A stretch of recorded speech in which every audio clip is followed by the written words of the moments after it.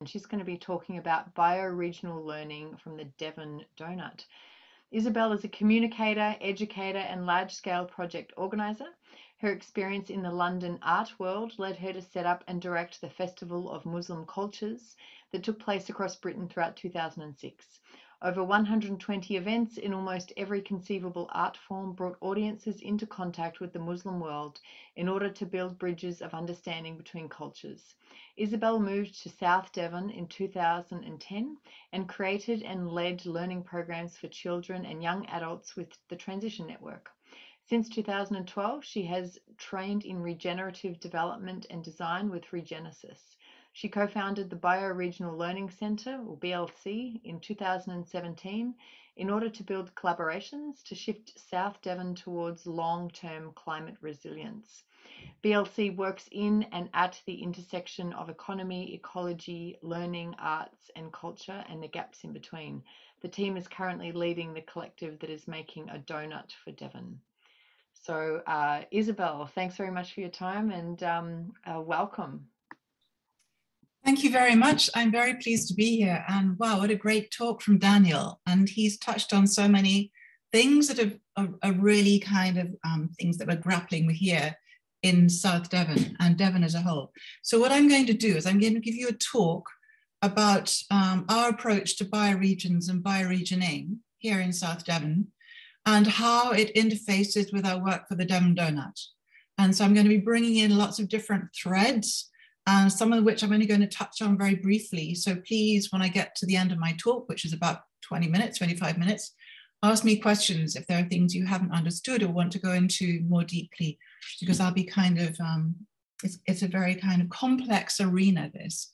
I'm just going to be giving you a kind of taster of it. So what I want to do is to start by showing you two graphics that we made.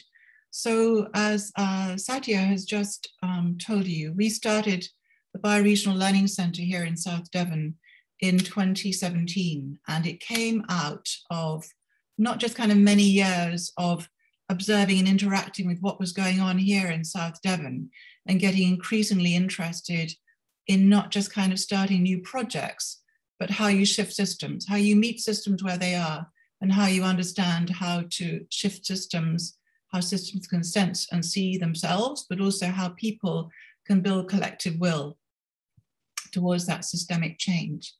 Um, and in order to kind of really um, grapple with that in a way, um, we convened a course at Schumacher College in 2016, which is called Bioregions by Design. And that had two people from the Regenesis group in it, Pamela Mang and Joel Glanzberg, somebody called John Thackara, who some of you will know, who is very big in the design world, and myself.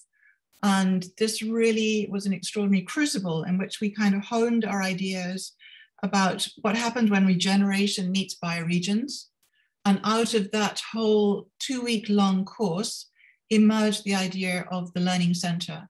And um, two people on almost the last day came up to me and said, We're just going to make this happen. And I thought, fantastic. I have no idea how to make it happen, but let's make it happen. And we've been working together ever since to kind of make it happen. So I'm going to start by showing you what we think um, a regenerated or a generating bioregion would look like. And this is kind of an end goal. It's always useful to have an end goal in mind when you're doing any kind of work. So hopefully you can see that graphic. It's quite big. So I'm just going to let you read the top half, then I'm going to scroll down to the bottom half and show you the bottom half. So these are the many ways into a bioregion.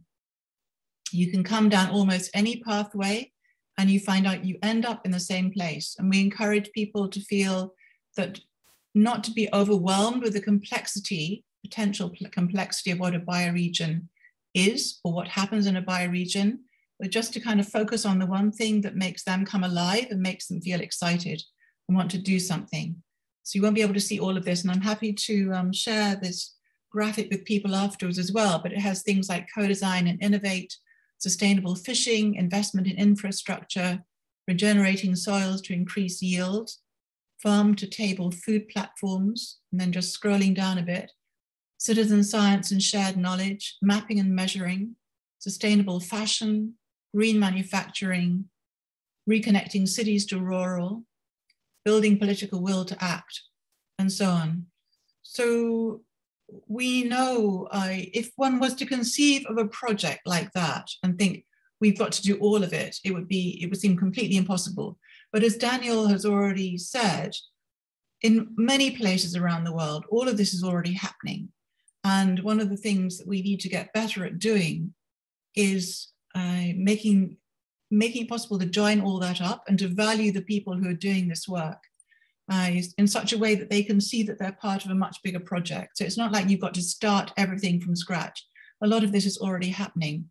Uh, naming that it's happening and valuing it makes it happen in a much more vibrant way.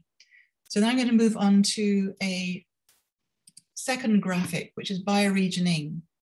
So what would you be doing in a bioregion to make all this actually happen? What are the skills that you would need? So again, it's quite big. I'm going to just kind of give you a layer at a time. So we call this bioregioning, all the skills and capacities that you would be bringing to the fore. So you'd be working at the edges, working at the interface between urban and rural, for instance, seeing the whole, making the region visible to itself with a clear identity and a sense of belonging, but a fuzzy edge, paying attention to systems, like, for instance, that picture is of citizen scientists at the edge of our local river, the River Dart. And we're working with West Country Rivers Trust to train more people to be citizen scientists. And we have a whole river project going, which is about access to data and knowledge, but also um, creativity and experiences of becoming water. So here we are, the second row, mapping for vitality. One of the first things we did in this bioregion was to run a learning journey around the bioregion so people could actually see what was going on in different places. And it was enormously helpful for us. We got to know the many people who are doing fantastic work. Of course, they're isolated from each other, but people who are really thinking about the future, who are thinking about the importance on our high moorland, Dartmoor, of encouraging biodiversity to revitalize by enabling more meadows to return, meadows with many different kinds of species and flowers and grasses and insects in them. Um, we went around the whole of South Devon looking at coastal defenses, fishing, um, poverty, social enterprise, clean energy, and so on. Prototype and learn. Uh, I mentioned before when Daniel was talking, we want to create a learning region, confidently working without a master plan and at different scales adapting our actions in response to learning what does and does not work. And that, in a sense, is our philosophy for doing this work. Collaborating, responding rapidly to crises through strong networks of connectedness. And in fact, we define resilience in terms of that relationality and connectedness. Whatever happens, you know, whatever project um, comes onto the horizon, whether it's responding to a pandemic, whether it's um, thinking about local food systems, the more connections you have, the more robust and resilient you are and able to respond. And here we are on the bottom row, establishing baselines.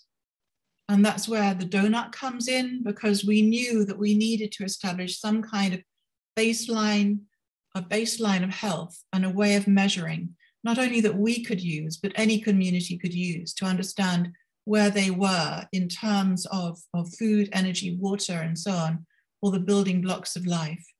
I um, we circled around the, do- the donut for about two years. We weren't sure if we wanted to use that framework as our baseline, but as I'll, I'll come to say in a little bit uh, in a few minutes time, uh, it became apparent there was a lot of energy around that and people in Devon wanted to do it. And so we, we embraced that. We also tell how-to stories, uh, raising the potential of a bioregion to operate as its best telling a can-do story of resilience and possibility, and that feeds into regeneration and sharing governance, the valuing natural assets of the building blocks of life, talking about sea, air, soil, and water as common pool resources that we all need to steward. And some of the work we're doing at the moment is uh, creating a charter for our local river, a charter that gives moral rights to the river. They're not legal rights, they're moral rights but this is all about water as a common pool resource and how we share governance and how local people can name the assets that they care about and want to become stewards of. So having kind of introduced you to that thinking about bioregions and bioregioning, I'm now going to talk more about what happens when bioregioning meets the donut. And that really gets us into thinking about local economies. So once again, I'm going to share my screen and take you into uh, a slide deck.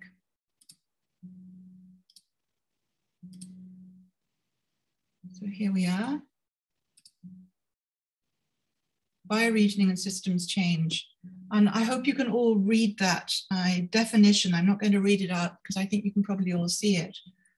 But we were very keen to create our own definition of what a bioregion and bioregioning is. Uh, there are many definitions out there, but we wanted to kind of bring in the different strands that we've been working with. And here I really want to pay homage to the shoulders that we stand on. So we stand on, on many shoulders, obviously, with the work of Donella Meadows, with systems thinking, the work of Elinor Ostrom around common pool resources, the work of Regenesis Group, the work of John Thackara, who's written some fantastic articles recently about bioregions, and of course the work of Kate Raworth that I'll talk about in a minute. So this is where I live. This is South Devon on the left-hand side. Um, you can see we've got a fuzzy boundary and it's our bioregion is defined by water. We've got the sea to the south of us. To the west of us, we've got the River Tamar, which has been the border, the boundary line with our county, which is to the west of us called Cornwall since about 968 AD, a very long time.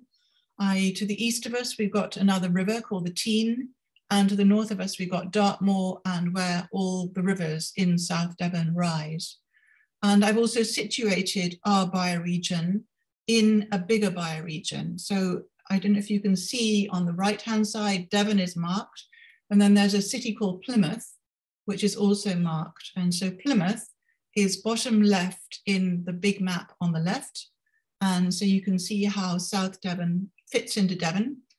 But many, many years ago, well, over 12,000 years ago, before the end of the last ice age, when there was no sea between England and France, we had a whole bioregion, a, a huge valley of, of, um, of fissures and crevasses and canyons between the two countries. And that I'm going to come on to in a minute because how we conceive of our, our place, how big is our place, how bounded is our place, is a key question for bioregioning.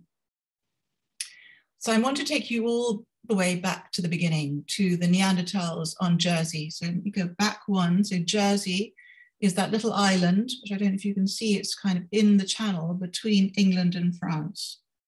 And many years ago, when I was a, an undergraduate at Ex Exeter University, which is in Devon, I went to work as an archaeologist on Jersey. You can see in the right-hand slide the huge cave where we were working, La Cotte de Saint-Brelade, and the two slides on the left and the center are photographs of the dig, and that's me top left carrying a bucket on this excavation of a very important Neanderthal site.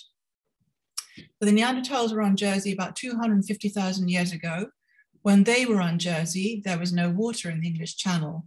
And so they were able to look out from their vantage point of La Cotte, where the Great Cave is, and look down into the plains below and the, and the valleys and the ravines and see the movement of big game, of huge animals like mammoth and saber-toothed tiger and woolly rhino and so on. And we were digging up um, mammoth tusks in the cave because they collected the bones and they stacked them in the cave. But what I want to, the point I want to make here is that um, Neanderthals, as we're discovering more and more, were sophisticated people. They were not the, um, the very kind of um, inadequate pre-humans that had been thought to be for a very long time. They clearly collaborated, they clearly had language, but they also, very importantly for us, they thought in terms of systems.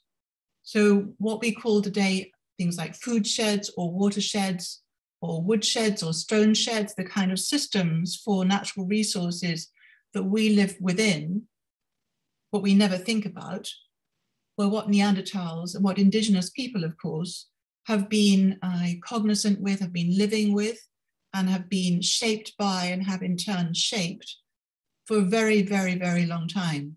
And I find this a very encouraging thought because sometimes we think that thinking about systems and systems change is impossibly complicated. Like, how can we think in all these different layers at the same time? And how can we connect it up? Well, somewhere it's inside us. And we all have about two to 3% of Neanderthal DNA inside us. We just need to bring it back again. And we're kind of excited about ways in which we can recover that. So we work through the lens of regenerative design and building relationships of trust and working within this from within the situation, meeting people where they are, really paying attention to and valuing the experience of the people who live and work in that place, I, and not imposing views of the world, but enlarging the scope of possibility of the people that we work with. That is the way that we work. So we don't have any grand design, we don't have a grand plan we are instead uh, creating, if you like, an energy framework or an energy field into which people can step and in which they're valued and seen and connected. And that's proving in the work of the Devon Doughnut to be highly effective. So as I mentioned, we were very unsure about whether to work with the donut or not as a framework for baseline measuring and for data. But there was an event in Devon that happened online in July 2019, in which people um, really started to engage with the Devon Doughnut. I, they became very excited. It was, uh, was called Regenerate Devon, the event. And Kate Raworth sent a video for people in Devon. And I've never seen a chat feed go quite so wild as with people in Devon saying, we've just got to do it. And then nobody stepped forward to make it happen. So I and my colleagues at the Bioregional Learning Centre thought, well, okay, well, let's just step forward and see what we can make happen. What can we do? I'm not going to go into the nature of the donut itself because I think many of you will already know what it consists of, but let me just kind of say very briefly to outline it. Around the outside ring, you've got the Stockholm Resilience Centre's planetary boundaries and they include things like uh, chemical pollution or land conversion, biodiversity loss, ozone layer depletion, and so on. And around the inner circle, you have got the Sustainable Development Goals from the United Nations, and not all of them, but many of them are there on the inner circle. And they include things like water and sanitation, housing, education, food, health, and so on. And Kate Raworth known, named that green circle, the donut itself, as a safe and just operating space for humanity. So most of the donuts in the world at the moment are mainly metropolitan donuts. So they're being made by big cities like Melbourne or Berlin or Amsterdam. So we are a bit different because we're covering a whole county. It's both urban and rural. And as I've mentioned before, there's an enormous amount already happening here. Uh, we haven't shown everything that's happening on the little map that's on the slide, but those little donut circles are just pointing to some of the things that are happening and our um, ambition and our, the potential that we're realizing to join all of these things up. So our work in, is in response to citizens sensing the usefulness of the donut which became very clear in the Regenerative Devon meeting, and working with policy. So, on the one hand, we work with citizen agency, and on the other hand, we work with policymakers. So, we have the UK government's legally binding commitment to carbon reduction, the declarations of carbon emergency that have happened across our county. So, not only have our central government in Westminster declared a climate emergency, but also Devon County Council, which is the governance for the whole of Devon, um, our local regional councils and parish and town councils have all declared climate emergencies. So there's a clear seam of energy here that we can work with. And there's something called the Devon Carbon Plan, which I'll tell you about a bit later. So we've got a working donut. We have contextualized what we call the domains. So the domains are the segments. So whether it's waste, for instance, on the outside or water on the inside of the ring of the donut, they are domains. And we realized that Kate Raworth's domains were not going to do it for the people in Devon. They were too abstract and they were too remote. So we renamed not all, but some of the domains to make them much more relevant to where we are here because unless people really kind of feel that relevance and get it viscerally inside their bodies, they're just not going to care very much about what we're doing. So, for instance, instead of um, talking about a um, ocean acidification, we're talking about instead about coast and marine health because that's much more immediate for people here. And the other thing I want to say here is that in the, the ring of the donut that Kate Raworth calls a safe operating space for humanity, we're calling the space for revitalization. And we're kind of measuring our progress into that space, which is a regenerative um, tactic, if you like, to kind of set a goal and, and head towards it rather than just taking a selfie snapshot of where we are. So we have these domains. Um, there's just a list of what they are. We also have cross-cutting themes. So we work um, from the angle of tourism or agriculture or manufacturing. They're not domains in the donut, but they go across all these different domains. Um, yeah, so that's kind of one of the some of the projects that we're doing uh, are angling at the donut from the cross-cutting themes. And we've contextualized our indicators, as I just mentioned. So um, for coast and marine health, for instance, we are targeting the number of fishing vessels out of Devon's harbours that are bottom trawling days per year. Uh, this is a, a straw man, if you like, that was discussed at a recent donut meeting. So what I should mention here is that we have had no funding to make the Devon Doughnut. We're all volunteers. We work as a collective. We meet every fortnight on Zoom in a session called Coffee and Donuts. And um, we have been doing this since last October. And we have been moving steadily towards a first prototype of the donut that'll be ready at the end of October. And in more recently, we've been testing out the indicators for each, each domain. How do we target a situation or a scenario in a domain that will give us a purchase on that domain so that if we start to work into that um, situation, I don't want to call it a problem, but kind of we work into that um, particular issue, it will give us traction on, on gaining um, towards revitalizing that particular domain. So we tried out this idea coast and marine health? Could we measure the number of fishing vessels going out that are bottom trawling? Why did we want to do that? Because bottom trawling globally releases as much carbon dioxide per annum as aviation does. So clearly, if we could kind of decrease the amount of bottom trawling, we would be um, seeing a win in carbon dioxide emissions as well as coast and marine health. And we talked to the, um, the harbour master of Brixham Harbour, which is our local harbour, very important local harbour as well. Um, before Brexit, it was turning over, um, you know, tens of millions of pounds a year in fish trading.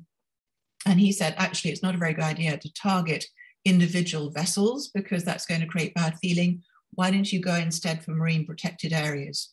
And so we're constantly kind of trying out these different um, ideas for indicators with experts, which we call into our coffee and donut meetings, and we have open conversations with them, which has the um, the outcome really is that we're kind of connect more and more connected into all of these different sectors and domains. So we take indicator-based action. So behind each um, indicator, there are actions, a whole kind of um, chain of actions, if you like, that we see could be taken as projects in the future. And anytime we go into a domain, for instance, water body health, we look at how it impacts on all the other domains as well. And this is a kind of an aspect of systems thinking that we're all learning to get better at as a collective. So our indicators are twinned. I, you can see, I'm not going to go into this in great detail, but you can see on the left in the middle, you've got citizen-led innovation. On the right, you've got policy change. So for each indicator, we've got these two tracks and we are creating um, action scenarios for both track. And we are holding, Bioregional Learning Center, which is kind of holding this whole process, is also holding the space between citizens and policymakers, because we feel that's a space that is a, a very rich space. It's often a very vacant space as well. The two don't often connect, and we are committed to um, ensuring that connection happens. So these are the steps in our process. I, everything that I'm talking to you about, um, most of this slide deck can be found on the Devon Doughnut website. Um, there's a big slide deck there. You can download it and use it as you wish. Um, I'm just going to talk you very quickly through this one. So operating from the space for revitalization, which is, if you like, the end goal, the vision of where we want to be. And it relates very closely to that first image I showed you, the first graphic, as to what would be happening in a flourishing bioregion or a flourishing place. So we're kind of all the time, we have that at the back of our minds. So we um, select a domain, we look at a scenario or narrative that will give us a contextualized indicator that's specific to that domain. We looked at the find the twin thresholds. We do this in, as a group, as a collective. Um, every week we tackle something different. We bring in outside experts and we test pathways for action, leverage points, and potential outcomes. So as you can see, this is co-evolving um, mutualism in action because the more people we bring into the conversation, the ever growing, ever widening conversation, the more people become um, used to or introduced to this process, and the more we're learning together, and the more we connect and we ask questions of each other. And this is proving to be a very rich way uh, in order to kind of build capacity for change, particularly, of course, for systems change. So what's the best use for the Devon Doughnut? So we wanted to try this out with the collective, say, what do you think is the best use? Do you want to use it a, as a data tool for targeting or comparison or advancing regenerative econ economics? Um, nobody really went for that. Everyone went for narratives and storytelling. Very interesting. I, we are able to tell a lot of stories via the donut and they wanted us to light fires all over Devon, i.e., to wake people up and to show them what could be done, to give citizens agency and to be able to hold policymakers to account. Just letting you know, you have five minutes left. Fab, I think this is the last slide. So in Devon, our goal is climate resilience, and this is how we define resilience. So I'll just give you a few minutes to read that.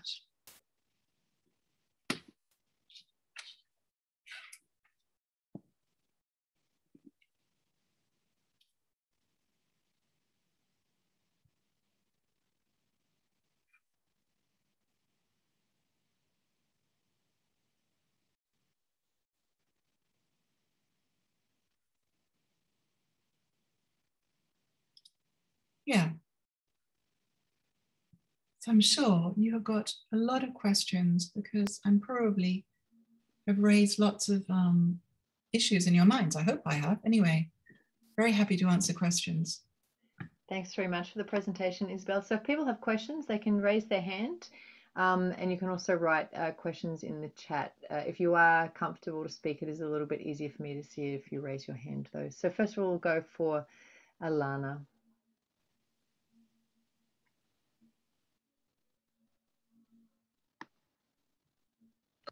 Oh, sorry, it took the time to unmute. Thank you. That, that was really wonderful. So much packed into a, a few minutes. Just great. Thank you.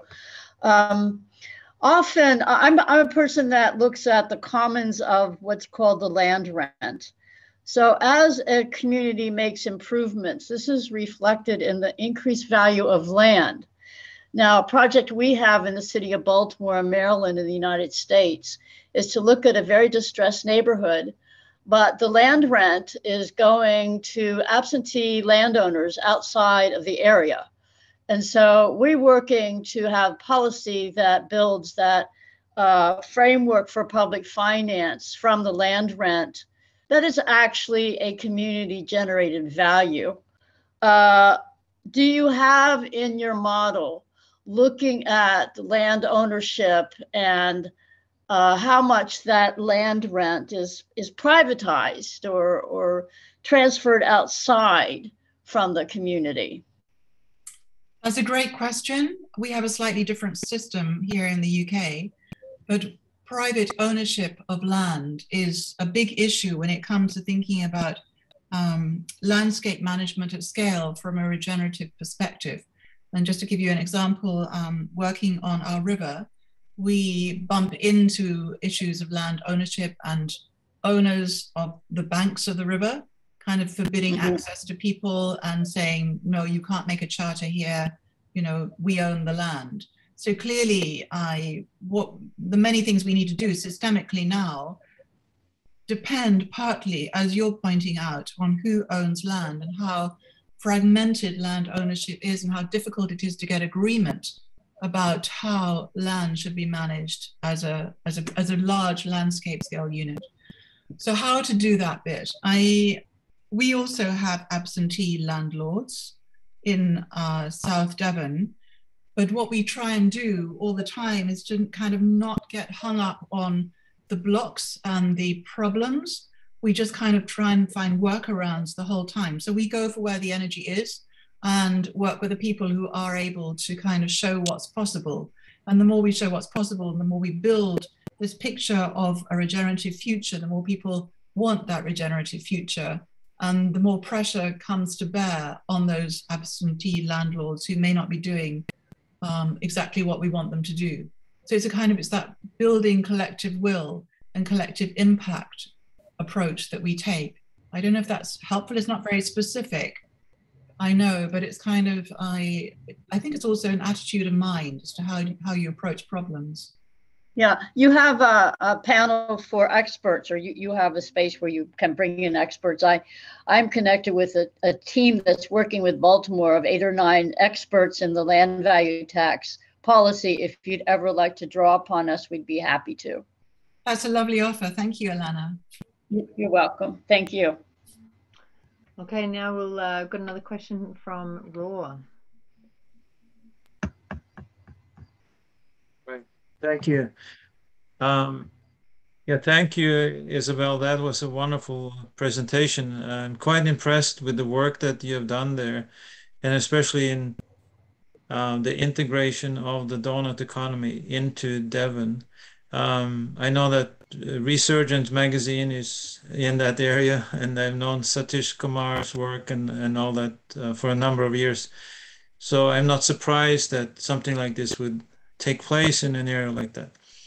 Coming from Norway, um, uh, a, a, country and a, and a culture that is very much related to fishing, I was I'm interested in uh, maybe uh, you talking a little bit more about how you approach this issue of bottom trawling because it's very devastating for the uh, ocean ecology and um, and one of the most serious global problems uh, we have um, do you have a discussion and do you see some hope around setting aside certain portions or minimizing that uh, type of fishing uh, so I would like to hear a little bit more about that.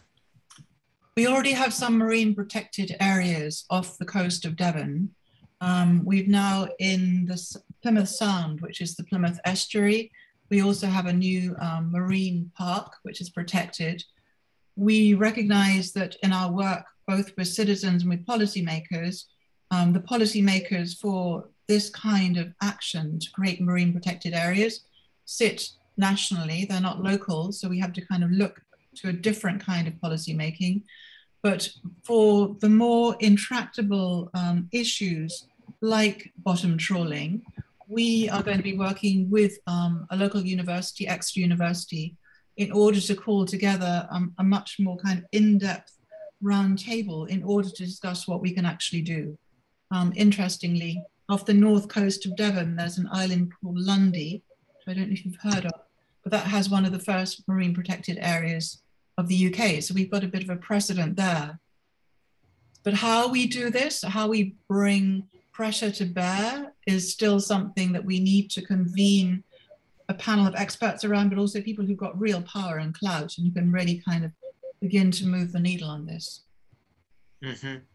Uh, one more question regarding the uh, European Union. Now that um, United, I mean, the UK is not part of the European Union. Uh, is there a difference? Is it is it easier to to do it because you're uh, you can protect your own borders better? Because one of the reasons why Norway never joined the EU is for the protection of the coastline. So this is you know, I, know there's a, there's a big issue whether, you know, the the positive sides of the EU and the negative sides, but does that play into this at all? Well, it does play into it in the sense that I, there was a dispute recently about the fishing per permits that the French fishermen had traditionally held for fishing in the channel. And um, Boris Johnson, our prime minister, sent a gunboat to Jersey to um, see off the French fishermen. So, yes, I mean, we are being more belligerent about our borders. But at the same time, for many, many years, which probably predate the EU, in fact, we've got agreements about cross channel fishing. So we have fishermen coming from France, from Belgium, from Holland to fish in our waters. Um, we also, here in South Devon, interestingly, have one of the only um, informal cross channel fishing agreements between the fishermen themselves. So our South Devon and uh, channel shell fishermen have their own agreement with the channel shell fishermen across the channel, and they meet every every year for a kind of um, a space in which they kind of solve their disputes and talk about where to move their pots to and which areas not to pot in and so on. And that's not bottom trawling, but there are informal ways in which agreements are made as well. Mm-hmm. Thank you. I have um, a question for you, Isabel. I mean, you're saying that your role or the role that your organization plays is to connect uh, the policymakers with the community. And so I'm curious how that plays out in terms of, you know, the authority around policy decision making. So you're making some suggestions, I assume, you know, how are you actually influencing policymakers? How did you uh, start those connections with them in the first place for them to support your project? Any inspiration like that that you have for others who are interested in doing something similar? Okay, that's a great question. So we have policymakers who come to the coffee and donut sessions. They're part of the collective. So Devon County Council and um, people from regional councils, parish councils, town councils come regularly every fortnight to discuss with us. Um, what I didn't mention earlier about the Devon Carbon Plan. So um, because Devon declared a climate emergency, it needed to come up with an action plan on carbon in Devon. And what happened was that um, Devon County Council and Exeter University and other um, bodies in Devon got together and they've made the first iteration of a carbon plan, so ways in which carbon can be reduced in Devon. But I, what's particularly interesting, um, if not frustrating, I suppose, is that Devon County Council only has authority over a few areas. It has authority over things like roads and transport. It has some authority over education. Um, it has some authority over things like pollution and infrastructure, like electric vehicle charging. However, we live um, in the UK in the most centralized state in Europe, so an awful lot of decisions are taken at Westminster. So our regional, our county government doesn't have an awful lot of authority. So policymakers sit at all sorts of different levels. So they sit in Westminster, they may sit at a, an even higher level. That's a kind of, if we're thinking of bottom trawling, it clearly would not be just Westminster who would be making decisions about this. It would be um, some body that crosses the channel. I don't know what that would be right now. I, but we we recognize that you know our county council has some authority, our local council has some authority for things like waste collection but none of these things are really joined up. So we're not waiting for permission to do any of this work. We're just going ahead and doing it. And um, the policy changes that we are pr promoting, suggesting, are completely uh, viable. We could make them happen. You would need negotiating with the appropriate policymakers. But there's also a role here for civil society to hold policymakers to account. Um, this is part of the function of the donut, is to be able to kind of reveal that role for civil society of holding policymakers to account and policymakers taking account also of the actions that civil society are able to take. Okay, thanks very much. Um, another, I guess, another question that I have. You also mentioned about uh, complex systems and the Neanderthals uh, having the ability to solve, uh, you know, complex problems. I have a background as an engineer, so um, it's a, little uh, it's a topic that I quite enjoy. Um, typically, when we have complex systems, there's an underlying principle that's guiding that system. So I'm curious, you know, from your experience, you know, working, um, you know, uh, working with this project and looking at the problems that are coming up, have you noticed a common principle that is causing or that is behind a lot of these issues that we're finding and now needing to resolve? Wow, that's a great question. I it'd be easy it would be an easy answer to say it's about disconnection, disconnection between people and place, but that certainly is part of it. Um, I think that we've forgotten that we live in bioregions. We've forgotten that we live in life support systems, like you know watersheds, for instance.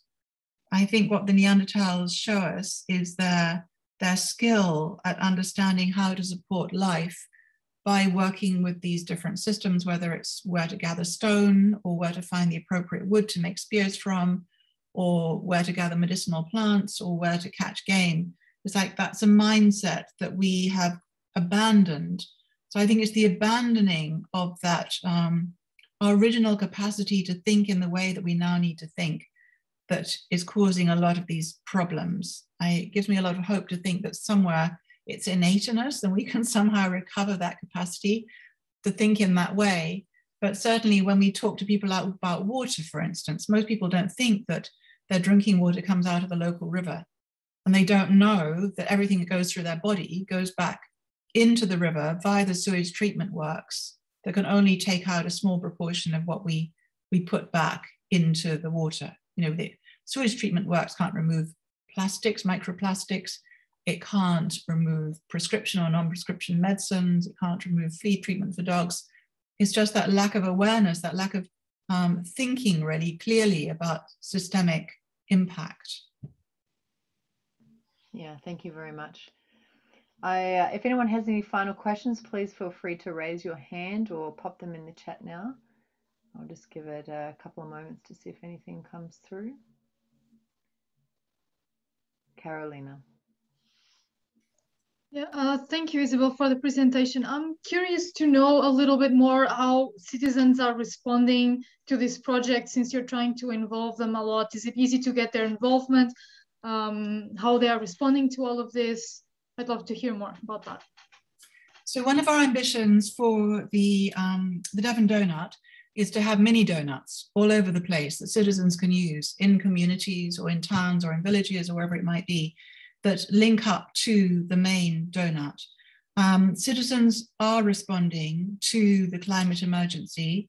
There are climate action groups all over Devon now. Um, they're asking for roadmaps. They're asking for ways in which they can understand where they are in terms of kind of you know, carbon emissions or water quality or food production. And we know that the donut can offer them that. So that's kind of we're at the stage now of um, creating our first prototype donut, and they'll be reaching out to all these communities, but it's not difficult to do. I, a lot of them already come to the Donut Collective. What I should say about the Donut Collective, which has a, at least 140 people in it, is behind each person, there's an organization, and behind each organization, there's a network. And so, for instance, there's an organization in Exeter that works with um, people who are on the breadline. So if we want to reach out to citizens in Exeter, we go through them, or a similar organization in Plymouth, or if we want to reach people on Dartmoor, we, we have avenues through which we can access them. Thank you. Are there any? Here we go, Brian. Go ahead.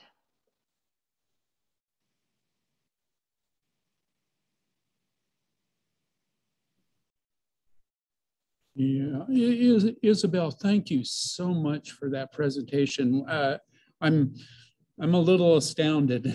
Um, there was so much. Um, I too have been working with uh, the Doughnut Economic Action Lab um, here in Virginia, uh, in, in the US, um, for, for some months. Um, I'm, I'm actually utilizing multiple platforms, kind of the collaboration between DEAL, um, transformnet.org, and the Wellbeing Alliance. Um, um, and this, so the strength of, of the Doughnut Economic Action Lab alone is, is phenomenal. Um, just kudos for what you're actually doing on the ground with respect to, to transformation and the, and the use of, of, of, of course, the donut economic um, model. So I'm I just wanted to kind of check in and and and say how excited I I am. I, I I've kind of been approaching this as a consciousness practitioner just in in network uh, building has just been my basic uh, complex adaptive systems and um, uh,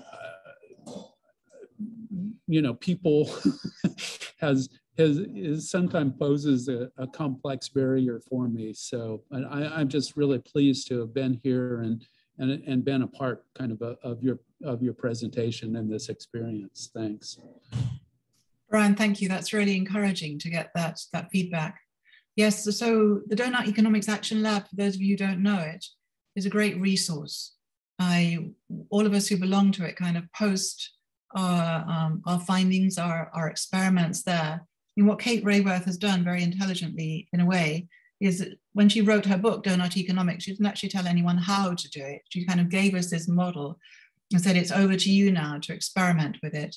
And um, those of us who are doing the experimenting are able to exchange, and we get people from um, who are making other donuts regularly come to our coffee and donut sessions.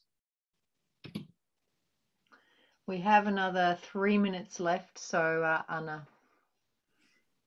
Yes, uh, Isabel, thanks so much. I'm uh, I'm trying to to like to push the donut here in Rio, and uh, it's very cha very challenging. And I just wonder if you were using the portraits methodology to connect the dimensions: local, global, social, and and and uh, and ecological around the specific uh, strategies uh, to connect the domains and uh, as a piece of talk and connecting the community and the uh, and the group itself, which is uh, very impressive. Can you explain more about the portraits methodology? Because I don't know what that is.